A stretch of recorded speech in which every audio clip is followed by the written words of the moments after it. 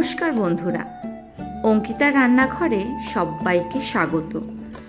আজকে বানাবো মাছের ডিমের বড়া করে ঝোল।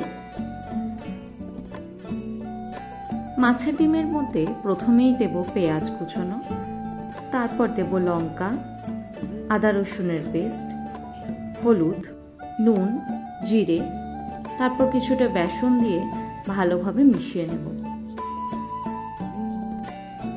দশ থেকে পনেরো মিনিট এই মিক্সচারটা রেখে দেব। অন্যদিকে একটা কড়াইতে সর্ষের তেল গরম করে একে একে বড়াগুলোকে ভেজে তুলব।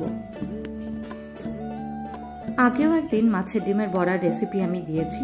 আমি ডেসক্রিপশনের লিঙ্কটা দিয়ে দেব, আপনারা অবশ্যই দেখে নেবেন। একটু সময় ধরে ভালোভাবে মাছের ডিমের বড়াটা ভেজে নেব। এবার ওই একই কড়াইতে দিয়ে দেব শুকনো লঙ্কা আর গোটা গরম মশলা। তারপর কিছুটা পেঁয়াজ দিয়ে ভালোভাবে ভেজে নেব।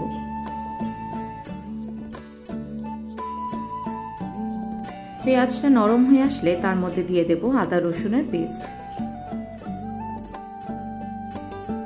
মশলার কাঁচা গন্ধটা যাওয়া অবধি ভালোভাবে কষিয়ে নিয়ে দিয়ে দেব টমেটো পিউরি।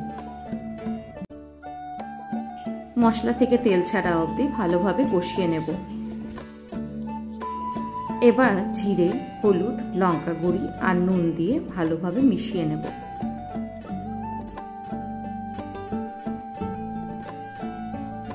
মশলা থেকে তেল ছেড়ে আসলে তার মধ্যে দিয়ে দেব গরম জল।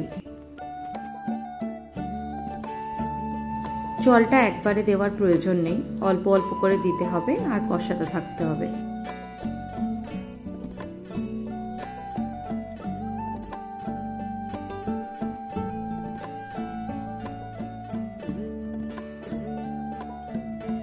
মশলাটা শুকিয়ে আসলে তার মধ্যে দিয়ে দেব আগের থেকে ভেজে রাখা মাছের ডিমের বড়াগুলো।